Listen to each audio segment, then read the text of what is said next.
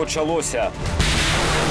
ЗСУ рушили до моря. Це вже буде означати кінець російському групуванню. Але чи варто очікувати на швидкі перемоги? Там суцільне мінування е, протипіхотними та протитанковими мінами. І що ще доведеться долати під час контрнаступу? Е, Реп шкодить, е, на жаль, е, таким теж високоточним озброєнням далекобійним. Факти тижня розібрали, що саме відбувається на фронті, яку гру ведуть російські генерали.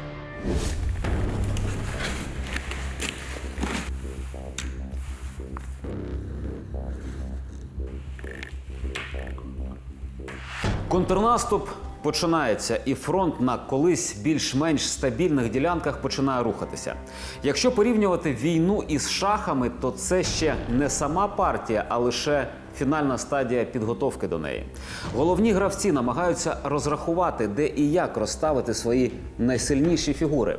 Але що буде далі? Яким буде перший хід білих і який захист використовуватимуть чорні?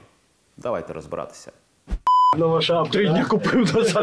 Це селище Благодатне, південь Донецької області. Кілька днів тому сюди зайшли підрозділи ЗСУ. А оце вже наші гради насипають окупантам в Запорізькій області.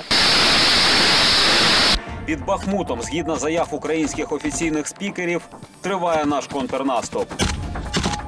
Фронт рушив з місця, і ось вже за тиждень Запорізькій області звільнено сім населених пунктів. Це село Лобкова на Мелітопольському напрямку і Левадне, Новодарівка, Нескучне, Сторожеве, Макарівка, Білогорівка на Бердянському. І за останньою офіційною інформацією від загарбників звільнено селище П'ятихатки, що відкриває шлях на окуповану Васильівку. Це перехрестя шляхів на Мелітополь і Енергодар.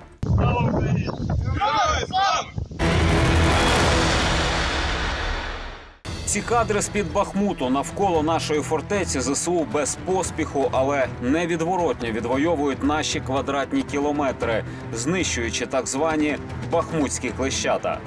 Хоча, мабуть, що зарано говорити про оперативне оточення, чи може навіть і напівоточення, адже надзвичайно складна ситуація. Тим не менш, панівні висоти навколо е, Бахмуту знаходяться під контролем української армії з півночі та з півдня.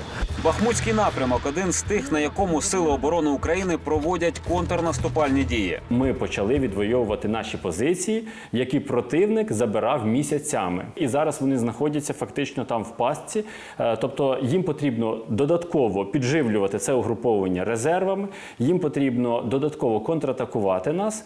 Е, Ну а але це все потребує сил, ресурсів, і цих ресурсів насправді в противника е, ну аж аж так немає, де звідки брати. Туман тиші, який постійно супроводжує українські операції, змушує росіян тримати всі півтори тисячі кілометрів активного фронту, намагаючись розгадати всю шахову партію нашого контрнаступу. У нас є зараз одна з ключових переваг, яку реалізовує е, які реалізовують збройні сили. Це те, що ми володіємо ініціативою. Тобто, ворог він постійно е, не може зрозуміти, де наш головний удар.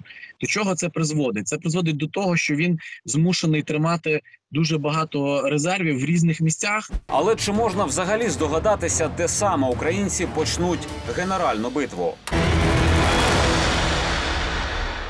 Українські експерти кажуть, так дійсно на лінії зіткнення стало набагато гарячіше. Фронт вирівнюється, артилерія розпочала пекельну для окупантів роботу.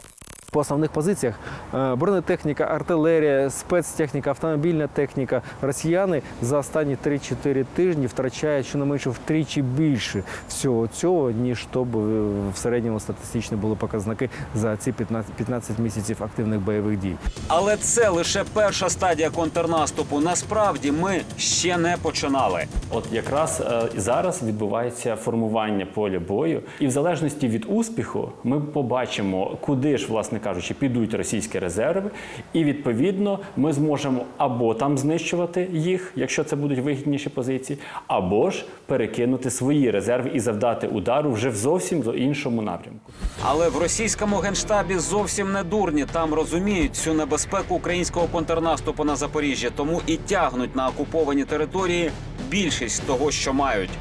Там суцільне мінування е, протипіхотними та протитанковими мінами. Там дуже потужна артилерійська складова у росіян. На півдні Запорізької та на півдні Донецької областей росіяни зосередили близько тисячі стволів ствольної та реактивної артилерії.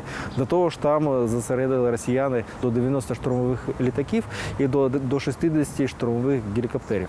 Американський інститут вивчення війни також відзначає суттєву роль, яку можуть грати в майбутніх операціях російські системи радіоелектронної боротьби. Важливо теж зрозуміти, що РЕП шкодить, е, на жаль, е, таким теж високоточним озброєнням далекобійним, тому що збиває їхні е, власне налаштування на конкретну ціль. Але разом з тим е, РЕП нічого не може протидіяти проти звичайної артилерії, е, яку застосовують на полі бою наші солдати. Але чи зможуть росіяни втримати мінами, танками і ребами Запорізький фронт? В інтернеті кожного дня все більше кадрів, як українці завдяки західній допомозі долають російський опір. Це вражаюче відео робота американської системи розмінування. А тут український дрон Камікадзе знищує російську машину для дистанційного мінування. Росіяни мали вдосталь часу, аби набудувати на Запоріжжі безліч захисних споруд. І головне посадити в них піхоту. Е, Тому ось сподіватися на те, що ми десь з'явимося непомітно, не можна. Тобто, це є така довга, така шахова партія, де кожен виставляє свої фігури і намагається вгадати, а де ж будуть, куди ж походить противник своїми основними фігурами. Головна задача українського генштабу зараз не в тому, щоб захопити всю шахівницю, а зменшити кількість російських фігур на дошці майбутніх операцій. Є поняття маневри. Ми можемо зайняти якийсь населений пункт. Виключно з метою змусити ворога кинути значні сили його відбити. Розумієте, навіть якщо він забере цей населений пункт, але втрати в техніці будуть сотні одиниць, то це був виправданий крок. Війна закінчується не тоді, коли ми захопили повернули свою територію, а тоді, коли ворог більше не може наступати і воювати. І лише наступний етап стрімкий прорив великої кількості військ. Наразі на півдні ЗСУ проводять активні операції поблизу Оріхова з перспективою наступу на Мелітополь та в районі Великої Новосілки. Це вже Маріупольський напрямок. Успіх на будь-якому з них зруйнує південний транспортний коридор росіян і матиме для окупантів катастрофічні наслідки. Тобто поступово із виходом до узбережжя е, Азовського моря і з е, руйнуванням Київського мосту ми фактично е, ну, посадимо в пастку ось це велике південне угрупування росіян. І нам потрібен буде тільки час для того, щоб його виснажити і завдавати таких, ну фактично таких прицільних ударів, точкових ударів для того, щоб оце виснаження здійснювалося швидше. Але поки що це питання перспективи, де саме почнуть генеральний наступ збройних сил України, лишатиметься таємницею до самого його початку. Павло Васильєв, факти тижня ICTV. Єдині новини.